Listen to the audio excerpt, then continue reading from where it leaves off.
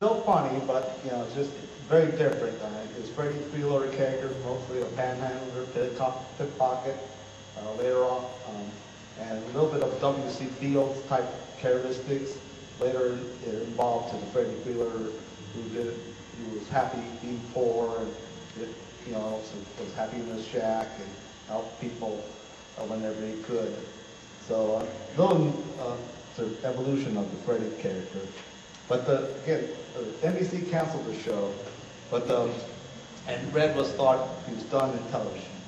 Um, but uh, he went to Las Vegas and he performed live in front of Las Vegas crowds, and that gave him a brand new energy.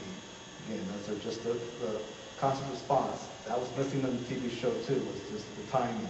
You didn't get the audience response when it was taped. So, so um, CBS uh, saw him perform, signed him up, but the first two years on uh, CBS, the sort of 53 and 54 years, um, he didn't make it in the ratings. Uh, there, uh, there's no listing of him in the top 30 during those two years. But uh, MC, uh, he signed a pretty good contract with CBS, so CBS was kind of stuck with him at the time. But then, uh, and his TV show was still a little different. Was um, either uh, it was uh, Red playing many characters in, in the TV show, either Clem for about 15 minutes, then there was a little song, uh, singer, feature singer, then either um, Deadeye or, or something like that. He played maybe maybe three different characters in one episode. Um, later on, the show cha- tried to change again, and um, it mostly was a show like Red Skelton himself. Um, he wasn't uh, no major characters. He wasn't playing this uh, kind of characters. Was Red Skelton ever uh, played Red Skelton, and he went to different situations, kind of like what Jack Benny was doing. Jack Benny was himself, and he went to different situations. But uh, that that situation didn't work. Right? But uh, so what saved the show in, in 55 was the writer Sherwood Schwartz. He's, he, he was became the head writer, and um, he's Sherwood Schwartz invented Gilligan's Island, Brady Bunch, and um, he thought that Red was best playing one character at a time, and so that's what he wrote. He wrote uh, so the episodes became either uh, one one episode was per character. Either Freddy was featured, Deadeye, the Pug, a California Pug, San Fernando Red. But he, for, so if you didn't like one character, maybe next week you uh, like the other character. Uh, Red did his opening monologue and then went to his, his character story, and that saved the show. And that was the, for half hour show. And so um, some of those classic shows were his you know, Christmas shows with his Freddie or uh, Cop and Anthem story. About, uh, so that was based on O. Henry story. But uh, most of the time, most of the shows were just one character and a one, one storyline, no variety, and no guest star. I, the guest, if the guest star was a singer, sometimes they snuck a song in, in the episode. Most of the time, it was just a, like a situation comedy with a different character each week. But then Red went to, um, and that got him into, um, started getting into the uh, 14 in the ratings, 15 in the ratings, 12, and in uh, 59 he went to went to five in the ratings. But oddly enough, in 60 he went to 19 in the ratings. So he went up and down, but he stayed in the top 20 during the time Sherwood Schwartz uh, became head writer. Then Red uh, changed things up and went to the variety show again. And this he went to an hour program in 1962. And his first step, uh, so here's a clip of uh, the first thing he saw in the hour program. Good evening, ladies and gentlemen. Welcome to the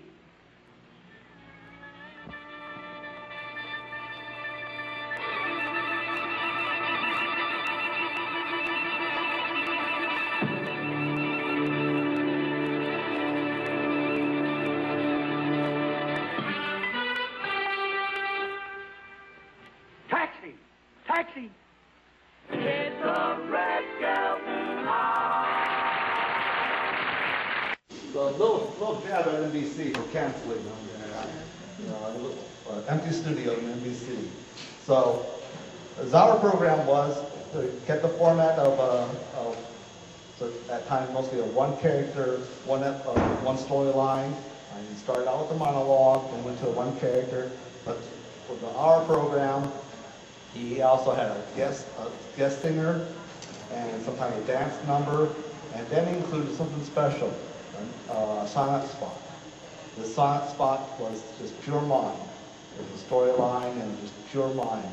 And for his first guest star on his first hour show was one of the masterminds of the times, uh, Harpo Marx. And now, Red Skelton and Harpo Marx in The Silent Spot. Expeditionary forces land in France. Battle of the Marne rages.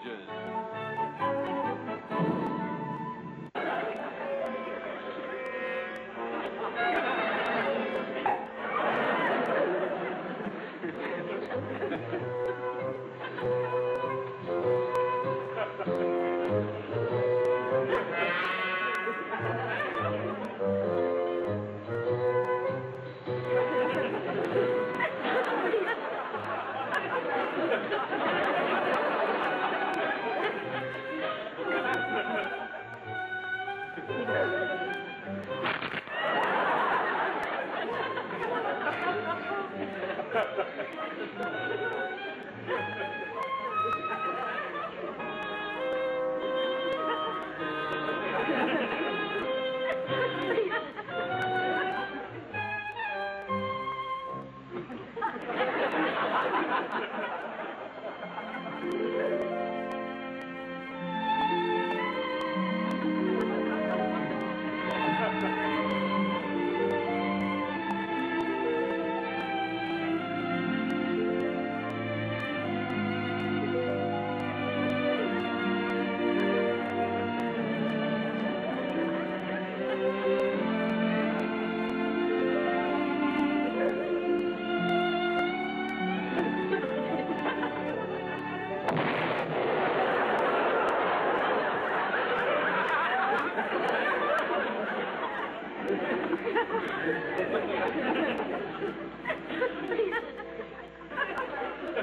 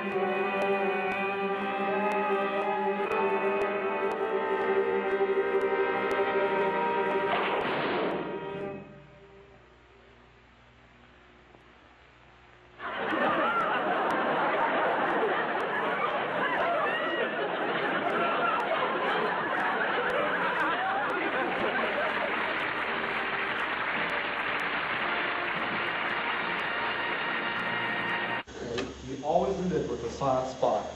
And so this lasted from, um, so the hour show lasted from 1929, uh, 1969 to 19, uh, nine, um, to 1970. And um, only twice it was below the top 10 ratings.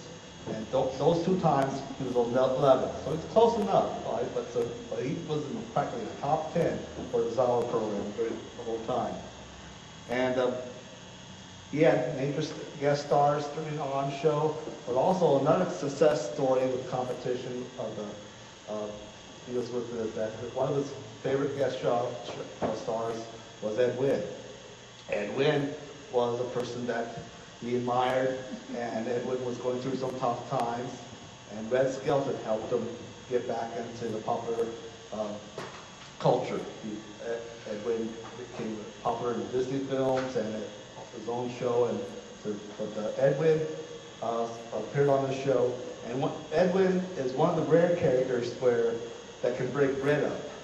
And usually Red's well, breaking the guest star up most of the time, but Ed Wynn guy reverses it and broke Red up.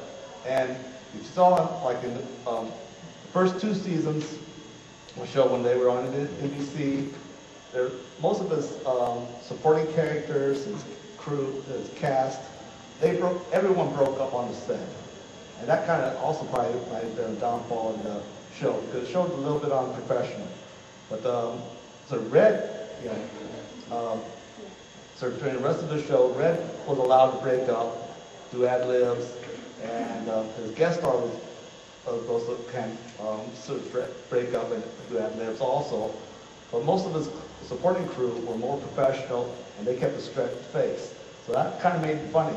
Uh, so I think that's such a, that kind of comedy is sort of, um, that makes it more funny is when everyone else is staying straight, and while you're breaking up, that can become comedy. But when the first two seasons on NBC, when everyone's breaking up, that kind of decreases the comedy too. It showed like it was like a rehearsal. It was like everyone was having fun and not paying attention uh, to the acting.